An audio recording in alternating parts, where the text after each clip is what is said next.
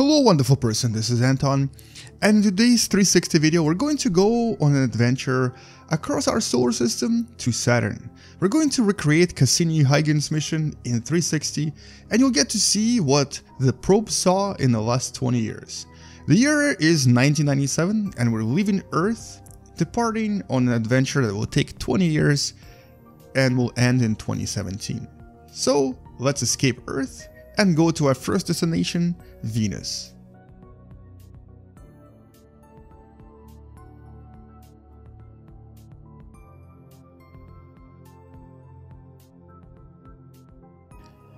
Now the reason we're going to Venus is because this probe is going to use a slingshot maneuver to get a little bit more speed before it can reach Saturn. It will actually take 7 years to reach Saturn, even though direct path would be much much shorter.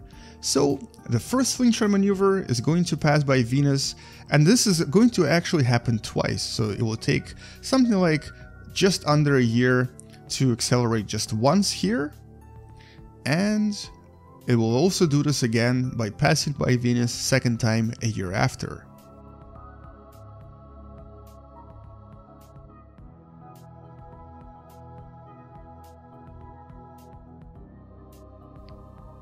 Now this second slingshot maneuver will actually uh, take it back to our planet Earth, but it will actually be using Earth for yet another slingshot maneuver that will give it even more speed, throwing it all the way to Saturn.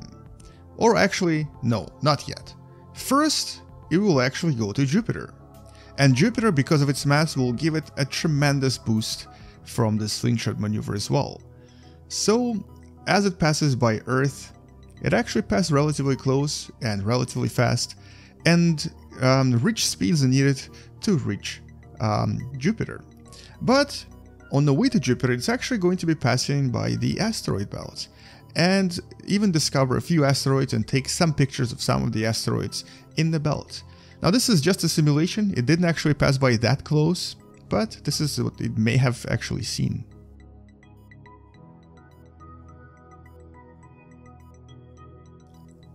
And now we're off to Jupiter. Here we're actually going to take quite a lot of new, new photos of the planet and take some of the amazing photos of Io and also Jupiter as well. Io will actually uh, be releasing some of the volcanic plumes at this point, so we will probably be able to capture some of its plumes on, um, on the picture.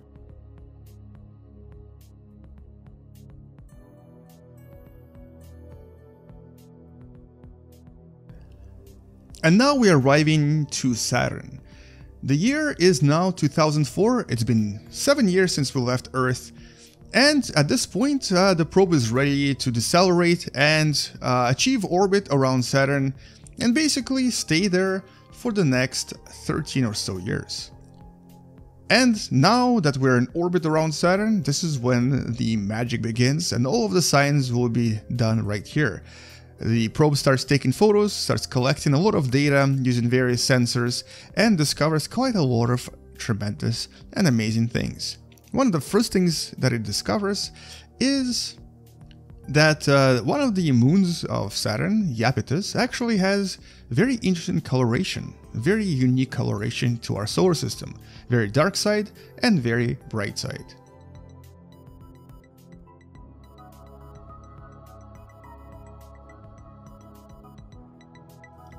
This is one of many, many discoveries um, Cassini-Huygens probe is going to achieve here, and one of the major discoveries is going to be on Titan.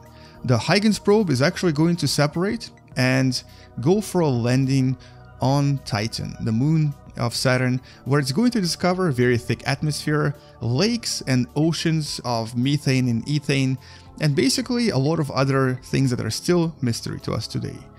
This landing is one of the most successful scientific achievements of humanity to date, and you can find out more about it by watching the Huygens video I made previously. And now that we've landed on Huygens, let's go back to orbit of Saturn and let's talk about some other discoveries, like for example Enceladus. We've discovered that Enceladus has liquid water and a lot of very interesting geysers that release various plumes of water and other material. We've also discovered a very unusual, very interesting looking crater on Mimas that gave it a nickname of the Death Star, because it kind of looks like the Death Star from Star Wars. Now many other things were discovered here on Saturn, and one of those things were actually seven new moons. I've talked about this previously in one of the previous videos, so do check it out and you may learn something new. We also discovered and took photos of the amazing Rhea, one of the satellites of Saturn, and we were able to take some really high resolution pictures of it as well.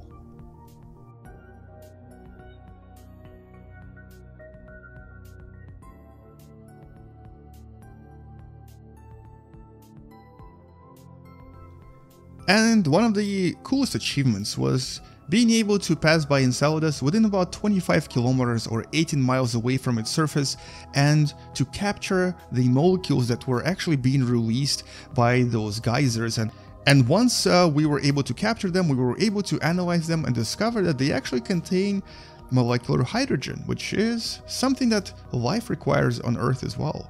So this gives us an idea that maybe there's actually life inside Enceladus but we'll discover this in the future. One of the coolest photos that were taken here on Saturn was a picture that you're about to see in a few seconds of Saturn and its rings in front of the Sun. This looked absolutely incredible, very, very beautiful, and uh, was actually almost like a science fiction picture in reality. And we were also able to study and discover new things about the rings of Saturn as well, which you see right here. And even discover that the E-ring of Saturn is actually formed by Enceladus.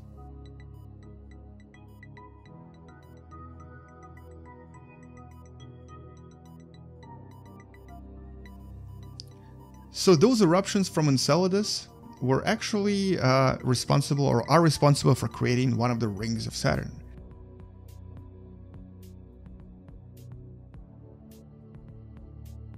Now we also discovered an unusual hexagon-shaped storm um, at one of the poles of Saturn, and this storm has always been there and is strangely shaped, but we don't really know why. One day maybe we'll discover, but definitely not yet. Now following many maneuvers and following many orbits around Saturn, we are eventually going to crash on it in, or have already crashed on it, on September 15th of 2017 at around noon, Earth time. This is actually what you're seeing right here. We're going to be approaching Saturn closer and closer, and uh, these maneuvers will actually happen something like 40 times. At some point, we're going to pass by so close to Saturn that its atmosphere will slow us down and we're going to be crashing to it. This will actually be one of the coolest achievements to date. And, you know, after 20 years, we still haven't really been able to reproduce this type of emission. And the reason we're crashing the uh, probe to Saturn is so that we don't accidentally contaminate Titan or Enceladus because they might already have life on it and we want to find it. We want to be able to find life that was not actually transferred from Earth. So, to prevent contamination, we're going to be crashing the probe into Saturn and doing just some last minute science right here in the upper atmosphere. And so that's it, that's the end of this video, thank you for watching. Please subscribe, share this video with those who enjoy space videos and want to learn through video games. And I'll see you in the next video, space out, and as always, bye bye.